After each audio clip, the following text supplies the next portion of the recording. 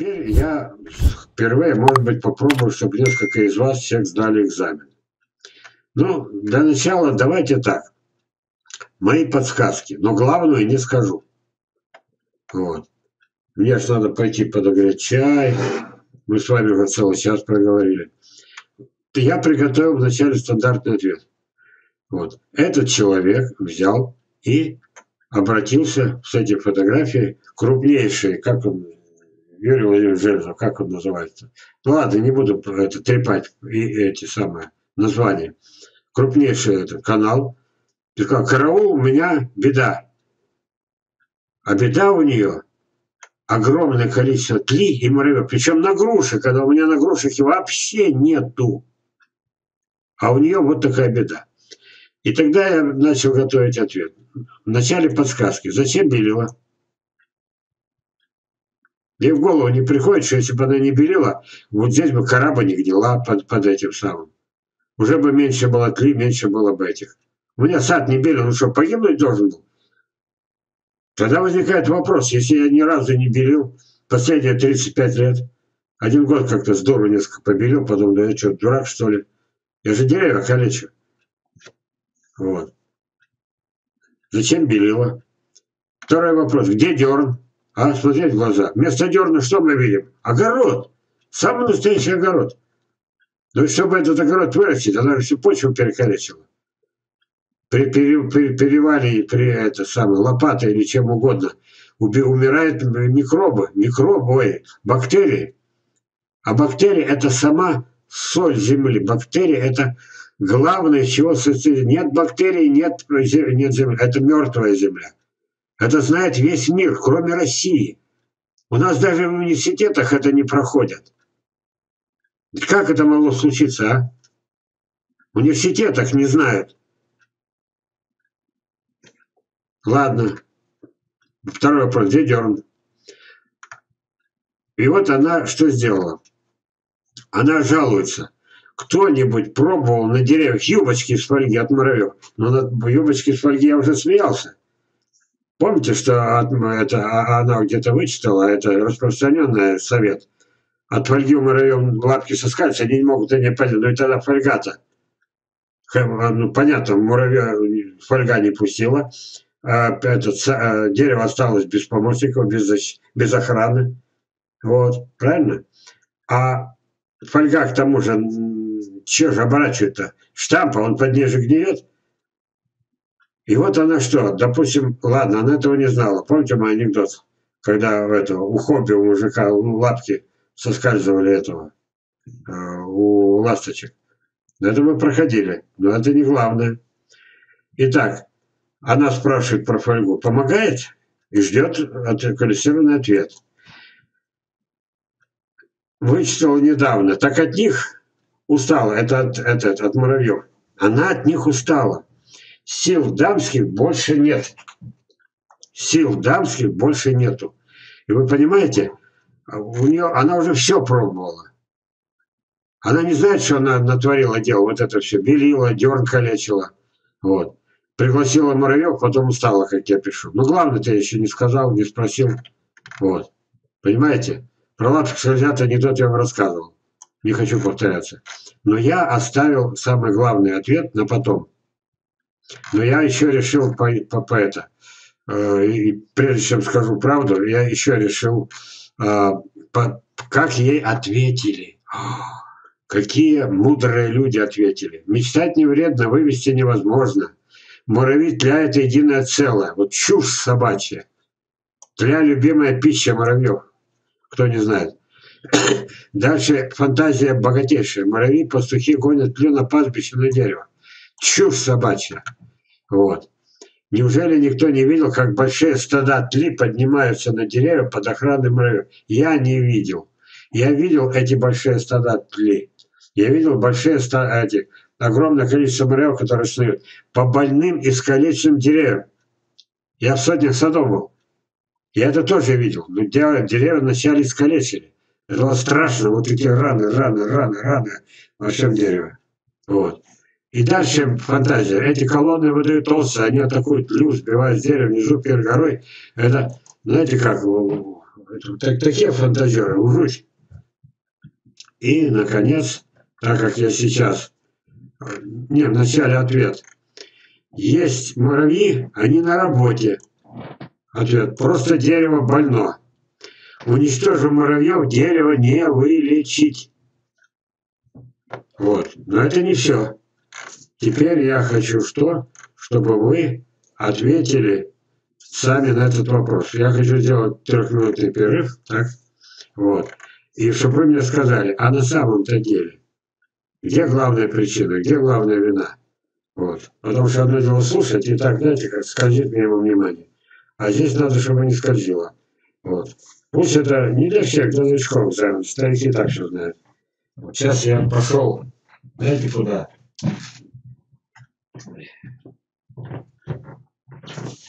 Привет, я. Ты закончила? Да? Все нормально? Поздороваться не хочешь? Стесняешься?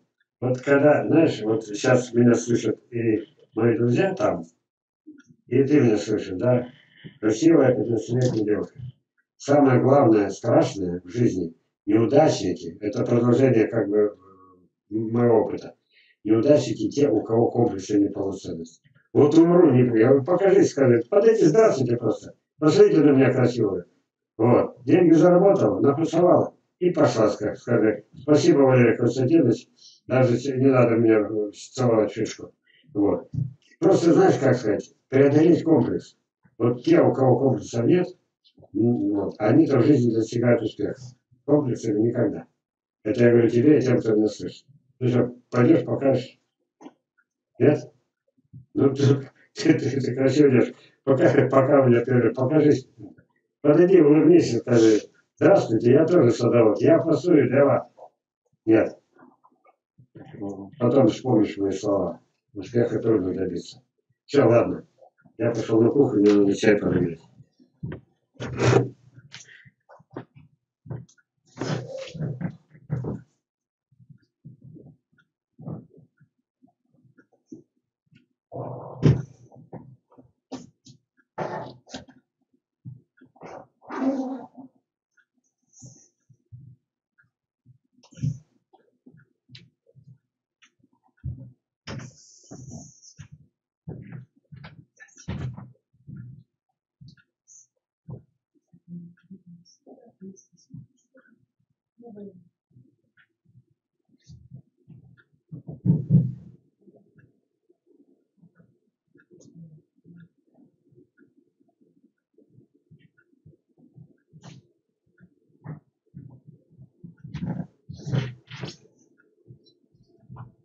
Так. Сахар повышенный. А тут этих конфет после праздничного стола. Ужас. Попробуй стоять. Итак, дерево. Сейчас конкретно надо съесть. Вы свои, вы тоже возле экрана, возле компьютера, возле этого должны держать чай. Ну, кто-то не чай. Вот. Праздник же. Официальный праздник. Итак, причина. Для начала мы видим крупный план. Дерево больно. На нем огромное количество тли, потому что я вижу свернутые листья, от этого никуда не денешься. Про муравьев их не видно, но про них сказал, устал от них. Так? Вот. Дерево еще плодоносит. Ему бы еще жить да жить. Но совершена страшнейшая ошибка. Внимание! Фактически получился колодец.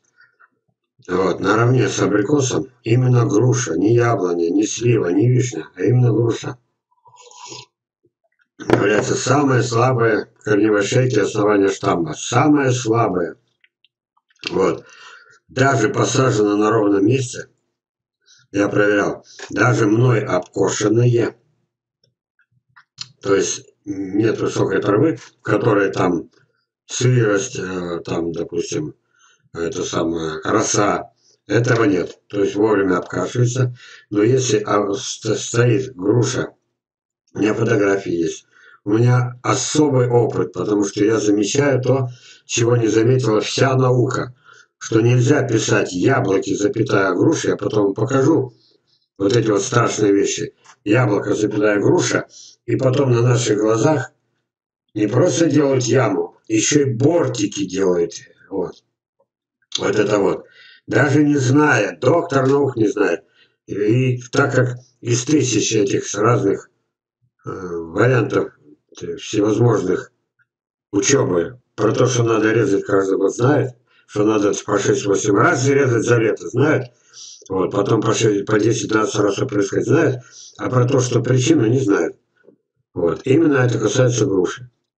Здесь у нее, вот, если бы туда заглянуть, вот это все надо разбирать.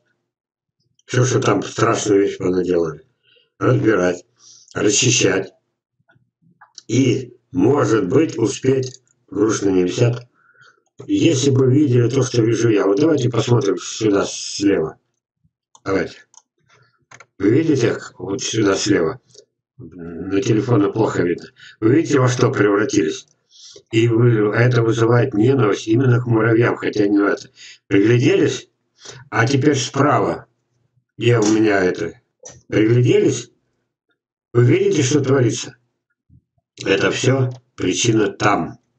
Если это все разобрать, разгрести, мы же еще не знаем, глубоко ли их при посадке посадили, но молодое прекрасное дерево, оно доживает, посмотрите еще раз на листья, сюда и сюда, сюда, сюда, и вы поймете, вот, оно, посмотрите, вот здесь штамп, еще, вот, это все мы с вами должны видеть, мы, они не увидят никогда, они дают идиотские советы, вот она тля, вот, вот, вот, вот она, все в тле, вот она, все это гниет, вот это, видите, середку, они пытались ее даже это забеливать, посмотрите. Все это гниет. Возможно, последний урожай. Спасти только если вот это вот, вот это, вот это разобрать. Вот. Вот так вот. А, и, а, ну, вы уверены, если... А у них на каждых крупных каналах свои суперспециалисты, они себя таким нет. Они обязательно напишут, ах, уж там уже есть, давайте короткий договор. А проредить-то надо, а туда же кислород не доходит, туда не доходит углекислый газ, туда не доходит солнечный свет. Вот. А вот эта ветка вертикальная уничтожить. Вот сейчас видите, как хорошо видно, что все тле. Все тле. А значит, здесь тысячи муравьев. Не зная причину, а ее не знает вся Россия. Вот в чем беда, друзья. Вот почему вы здесь со мной вместе.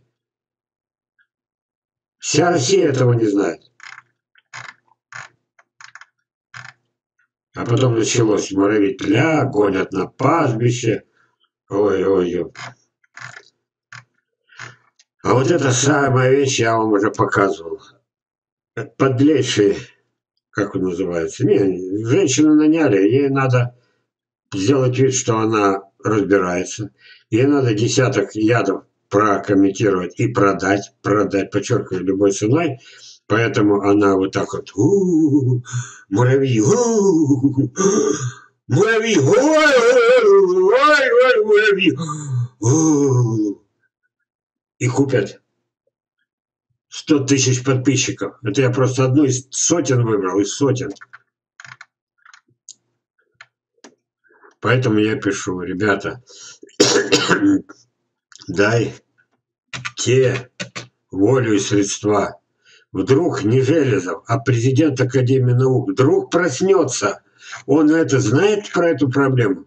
Он знает, что люди своими руками уничтожают все это плодородие. Вот это вот. Как достучаться? А и вот когда, я все вспоминаю новый роман этот, он был во время перестройки, он был новый. Это был взрыв. Люди наконец-то узнали правду. Он был, этот роман был превращен в чистый стопроцентный детектив. Там выведены разные люди, живые, настоящие. Вот. Там была любовь, там, а, а как же, а, а как без этого? Вот. Там был тот самый академик, который был прообразом этого самого, самого Лысенко. У -у -у. Там был э, этот самый э, главный герой, которому пришлось воевать уже с КГБ для того, чтобы спасти, спасти новый сорт картошки. Роман был настолько жизненный, роман был настолько ярко описан, что потом замучили самого Дудинцева, автора. Людей интересовало огромное количество, которые восприняли это все однозначно, чтобы был такой а, необыкновенный сорт. И спасать его надо было. И он, рискуя жизнью, его спасал, или вот этим вот рискуя. Вот. Но спрашивали его, ну спасли вы это картофель, это, это самое, спасал живые эти клубни. Спасли вы или нет? Вот это был роман. И сейчас, друзья, сейчас, друзья, вот, нам нужно, чтобы кто-то этот роман написал. Вот сейчас. Вот. Все эти люди, которые выделены в романе, если сейчас, я могу даже целый список составить, и себя не постесняюсь туда писать. Этот, но это нужен человек особого таланта, чтобы люди схватились за голову, господи, что с садоводством-то сделали? Вот. Что ж творится-то? Почему никто не видит этого?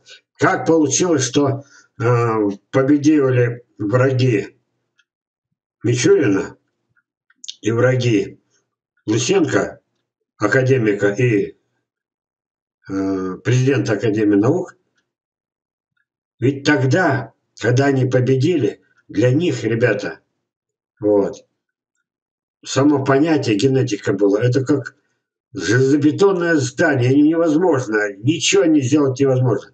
Вот. Это как можно взять и в течение нескольких лет изменить генетику? Невозможно, то, что было миллионы лет. И они правы. Они правы. Но есть пути обхода, вот так, вот так, вот так. Это то, что мы почти интуитивно к этому подошли. Но этот путь-то теперь-то выправить осталось. Никто не хочет этим заниматься. Я, я, например, и мои друзья, полное забвение. Я Чижика сказал. Да Чижика уже, еще когда он был живой, уже этот сад должен был под охрану был взять.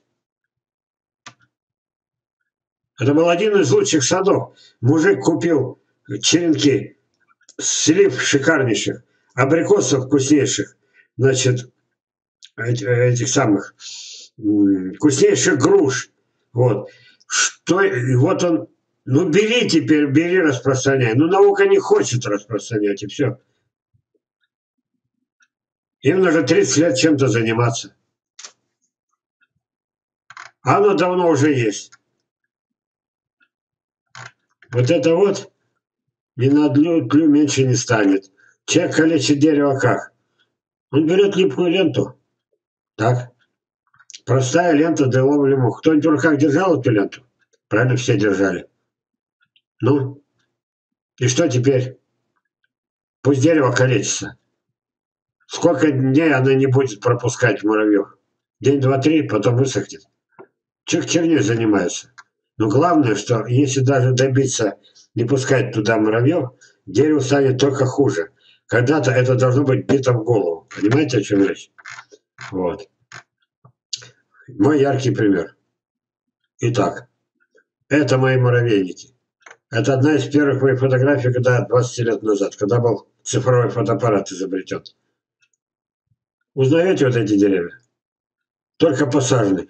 По идее, посмотрите внимательно. Муравейники вот тут, вот там. Вот обратите, как будто специально муравьи, я же э, не специально же где-то траву сушил, где-то нет. Вот. Под каждым деревом муравейник, муравейник, муравейник, охрана обеспечена подумал я. Я их окружил заботливо колями, чтобы, не дай бог, эти муравейники никто не затоптал. Ну, прошло 20 лет. Но они же должны быть погибнуть все-то. Ну, ну, по логике-то, по ихней, извращенной. Смотрим дальше. Август 22 года. Смотрите, это они. Можете даже как-то называться, привязку к местности. Это они. Вот они сливы, особые сливы, роскошные сливы. Это они. Это тот же участок. Вот. Вот здесь росли два персика. Но, и там даже видно было, персики погибли от нищеты. Я их искалечил, продавая черенки с них. Они погибли. На их месте Вот персик был привит на сливу. Вот осталась слива. И что, роскошная слива, даже, даже сейчас видно урожай на ней. Даже сейчас. Когда-то была снова персик. Вот она слива. Ее что, муравьи убили? А вот это вот справа, здесь тоже была этот персик. Его тоже я, я уничтожил своими, своими вот этими руками. С каждого такого дерева персики были почти такие же по размеру. Я по, по 50, по 70, по 80 серенков. Изувечил, и 40 градусов зима. 2005-2006 год. И вот с тех пор прошло немного лет. Вот. Ну вот растет роскошная слива, чернослив. Скажите мне на милость. Как ему а, помешали эти самые? Как ему помешали эти муравейники? Как? Я для чего вот эти вебинары провожу? Это же не просто. Я пытаюсь, чтобы не покупали эти идиотские ядохимикаты, чтобы не травили себя, не травили почву, чтобы не, защитников не уничтожали. Но пока соотношение где-то тысяча к одному, сто к одному. Эти друзья не отстанут никогда.